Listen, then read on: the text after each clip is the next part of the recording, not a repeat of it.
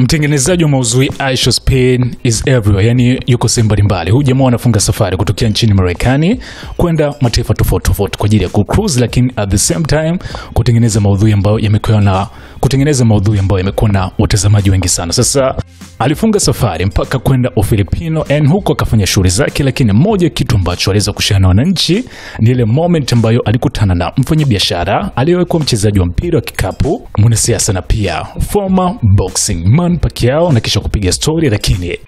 Aisha Speed kutaka asiachane naye, so akamwomba sparring, yani kutokana na kwamba huyu alikuwa ni mwana masumbwi ambaye aliweza kujipatia umaarufu mkubwa sana, hasa pale ambapo alizichapa na Floyd Mayweather. So wakatengeneza sehemu kwa ajili ya kuzichapa.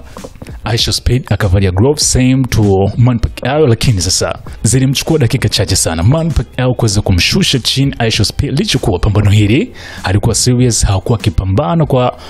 kutafuta points sasa kwa kumpiga mtu kwenye kichwa pana, so alikuwa anapigana hizi kwenye sehemu za mbavu tu kama unavyo katika kipande hiki kidogo cha video. And Man Pacquiao alikuwa akijibu mapigo kutokea kwa Aisha Speed ambaye alionyesha tangu mwanzo kumshambulia, lakini haikumchukua muda mrefu sana, akamgusa kidogo tuna kushuka chini, lakini pia kulala chini kwa muda kidogo kabla ya kuamka. Haya ni aina ya maudhui ambayo Aisha Speed amekuwa akiashia kwenye akaunti yake ya YouTube. Ukiachana mchezo huo wa masumbe, tumekwisha kuona alihudhuria mpaka kwenye WWE wale watu wa mieleka so na huko pia ameweza kuhusu, na ni moja video ambayo ameweza kuwavutia watu wengi sana, kwamba anajaribu kila kitu, na kinachosubiriwa kwa sasa ni kuja kumwona akishiriki hata kwenye michezo ya mbio za masafa marefu ama mafupi.